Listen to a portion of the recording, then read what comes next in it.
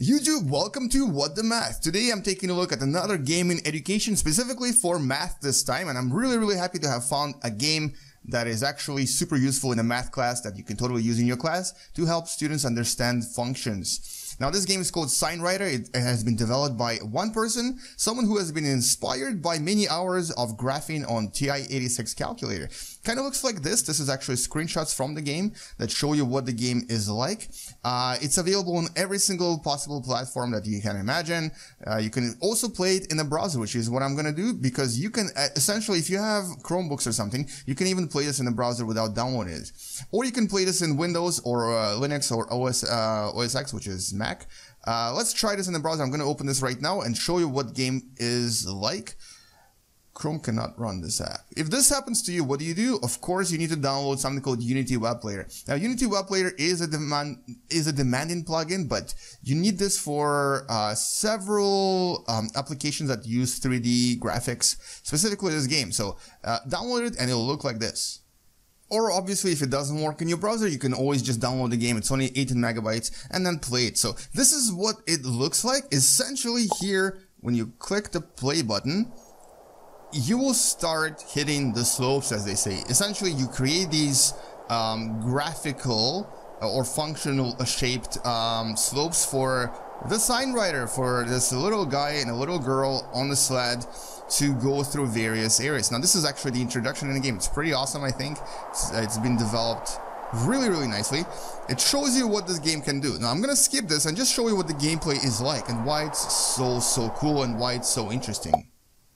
So here on top, you can actually go, uh, if you go on top right here, you'll have either tutorials or you can just go ahead and start right away by specific topics. Now, for a math teacher, this is magic. So, for example, if I want to learn how to, or obviously you can also create your own levels, which is something that I would totally use as an assessment with my students. I would actually ask them to create, um, you know, specific uh, levels in this game where uh, let's just say we'll learn quadratic functions where they can actually practice quadratic functions using this game. So let's actually, before we get too far ahead, let's look at how the game plays.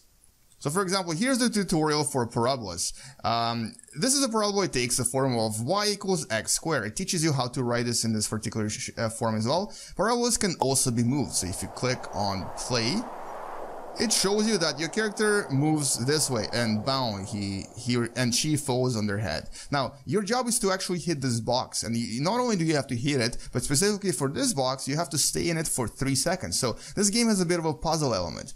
Now for this tutorial it actually lets you do it easier easier by moving your parabola this is in uh, vertex form if you remember your parabolas uh, by moving your parabola vertex sideways so let's, oh, I need to stop this first. Let's move this to the right and see we can actually go that far, I think. Yeah, it, it just gives you an idea of how to move this, but you can't move it this far. You actually have to do this manually. And to do this manually, we're going to choose this and change it to x equals minus 3. Not good enough. x equals to minus 5, minus 4, minus 4, I think. So it, it doesn't give you enough hints to um, to basically give you a solution, but it does give you enough hints to find the solution yourself. Now, if I click on play, and here we go with parabolas, and as soon as my player stops in here for 3 seconds, I win this level. Ta-da! Complete! 10 characters. 10 characters, what does it mean? Anyway, uh, it took me 8.7 seconds, so you can have a little bit of competition here as well, where you can actually have your students compete. And it's, uh, the entire tutorial, like, essentially goes through all of the parabola functions. Now, it has so many different functions though. It's not just parabolas. It starts with simple linear functions, which is, you know, slopes. So this is a linear function where it teaches you, this is how the linear function works. You're going the wrong way. You have to go the other way to hit all these boxes. So what we have to do is we have to change this to negative x. This is where you talk about slopes and positive negative slopes, but I do it in a very, very fun way, very interactive way using a game that is very accessible to all students. And essentially, a goal for every mission is to either hit boxes, um, like this one here, basically hit the boxes by changing your function to make it so that your player passes by the boxes, or to stay in a box for a certain period of time, like we just saw in the previous example. So we have slopes, we have parabolas, we have sine functions, waves, sine and cosine functions. So this is, uh, I think it's grade 10 trigonometry for American curriculum or possibly grade 9, 10 for more international curriculum.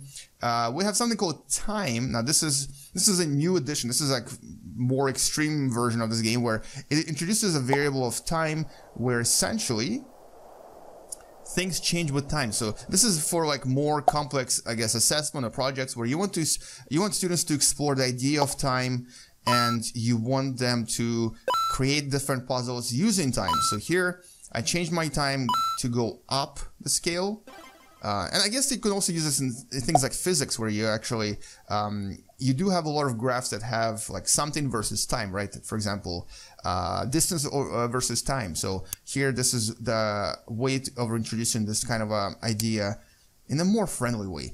Then, of course, we have polar coordinates, and this is really, really extreme. So here we go. So if I click on play now, oh, what? T represents time. I'm doing something wrong here. What am I doing wrong? Uh, change it to a number. Doesn't do anything. I don't actually know how to play this one. I may need to learn this myself from scratch. Okay. Yeah, that one is more difficult. This is like some extreme stuff here. So polar, polar coordinates, I'm not actually sure how it works, but you can see how complex this game gets. And I'm sorry for not knowing what this exactly this is, but I'm sure uh, someone out there knows what this is. And there's other stuff here as well, like uh, things that have no categories. There's something called convergence, which I don't even know what that is. Um, something that's out of order. I guess these are just missions that. Oh no, never mind. This is actually things that we have to think outside the box because you have to solve this by hitting this first and then hitting that. So you have to actually change this function by yourself using all the knowledge that you have. Like for example, I can change this to minus x first, and then I can add another function. That's not going to work, is it? That is not gonna work. I can possibly make it. Nope. Nope, nope, nope, nope, nope, nope, nope, nope, nope. This is, see, this is actually, this gets really hard. So here, I don't even know how to approach this, but this is where you can, if you are um, in a school where, you know, you have a lot of inquiry-based learning or you want to try to have inquiry-based learning, for things like functions, grade 9, 10, algebra, this is awesome. Like you can have students explore different functions, have them write functions in here manually, and um, for schools that are IB schools, this is super important because a lot of the assessments starting in 2015, 2016 is going to be on computers. Yeah, the students will have to actually type their functions. So this is really important for them to be able to do manually. So very, very important skill to have. Uh, so yeah, I don't know how to solve this. If you know how to solve this, post it in the description below. Uh, do try this yourself because this is a super awesome game. It has some really hard missions. Um, if you actually look this up online, if you read the forums for this particular game, some uh, missions that people have made and some solutions are ridiculously hard. Like this would have like functions that are so crazy complicated that I don't even know where to start. It does have a lot of levels actually. This is, this is not the only levels that it has. There's quite a lot of different custom levels that have already been pre-made and are available for free. And by the way, did I mention that this game is absolutely free? There's absolutely nothing you have to pay for it. And this is probably the only game, the only mathematical game that I've tried and have enjoyed so far. There are chemistry games I've tried to have enjoyed. There are physics games. There are lots of biology games. There's not a single math game that I've liked so far. This right here is it. This is the only puzzle game that is brilliant. And it's actually apl- applicable to high school. It's applicable to you know higher grade students not just lower grade students. This this there's some really nice uh, earlier learner like elementary school math games out there and i've already looked at them before. But for higher grades there's almost nothing and this is it. Now i want to see uh, if i can actually find something else that is awesome i haven't seen yet and show it to you as well and I forgot to mention, so if you want to go through specific levels, so if you click on the left side right here, so parabolas, and then you click on the right side, it will actually give you different levels you can choose. So for every single one of these, there's actually quite a lot of, there's like practice levels here where you can try to, you know, try different, different difficult questions. Uh, then we have like same thing for time and things like that. Um, there's concepts like asymptotes, there's, uh, there's concepts like space and time. Oh, that is awesome. That is just that is just trippy. And so this game is just awesome and brilliant in every way. Um, if you are thinking of using this in your class and you want to try something inquiry based, uh, and you have, like for example, IB curriculum, this would be perfect. So for example, what you can do is you can actually assign these as individual um, criterion B invest pattern investigation ass assessments, and specifically these practice problems. These practice problems are actually kind of hard, and it's difficult to solve them. And so your students can solve them individually and then give you their solutions in written format, so you can then check them, uh, or possibly even just take a screenshot and show you uh, show you the solutions that way. Um, the interesting thing about this is that there's no one solution to any of these problems. There's always multiple solutions, which is absolutely perfect. It makes ma math interactive, it makes math unique, and it gives you um, a really awesome, fun way of teaching um, teaching math, specifically to teaching functions, which is usually not particularly well received with students, I think. Now, let me just try, for fun, let's try to solve this. We know this is a sine function, so let's let's do this inquiry-based learning together. So let's see what we can do here. So uh, we know it's a sine function, so let's start with this sine of x. Nope sine of x, proper format. All right, so sine of x. So uh, the sine function I have right now is a little bit too fast. We need to decrease the need to decrease the frequency. Let's do maybe divide by five, six, six looks good. Now we also need to increase its amplitude. So we need to, this is where you can talk about amplitudes of uh, sine and cosine functions to increase the, you know, the ups and downness of this function. How do we do this? So you can obviously have students discover this by themselves. And this is something that I would do in my class before I teach them how to do this. Uh, or you can show it to them and then they can play around with it.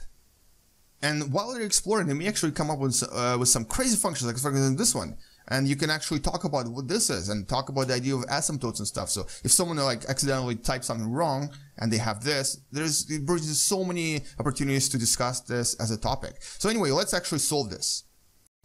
And as I keep changing these variables, you can see I'm sort of getting a little bit closer to that specific shape that I need to create. And this is what you want your students to do. You want them to explore these uh, particular variable. So what does it do if you change this value, which is sometimes called h, sometimes called k? Different countries, is actually a different um, value for it. What happens if you change the a? Usually this is a in every country. Uh, so what happens? What happens to your function? And this is a, such a good way of exploring these. So let's actually let's actually solve this. Stop talking and solve this. Okay, so it's looking better and better. Let's actually see what happens if I click on play right now, because these balls I think will roll downhill. And I need to spend, oh no, I can't reach the thing. All right. But I reached the balls. All right, so cool. Uh, now, the only thing I need to change is essentially move this up a little bit. So you can do this by doing the following. Excellent. That looks perfect. And solution. Excellent. So that is one of the ways of solving this problem. There's so many other ways you can do this. You could have moved uh, shapes differently. You could have created a cosine function. You could have created so many different things. Uh, but essentially, this is what the game is like in a nutshell. I absolutely love this. Whoever made this deserves a Nobel Prize. Maybe, okay, maybe that's going too far, but deserves a prize of some kind because they totally uh, surprised me there. I did not expect this game at all. I randomly found out about it very recently, and I'm happy it exists. Anyway, thank you for watching. This has been What Da Math with SineRider, the epic epicness of math education. Game you later, guys, and bye-bye.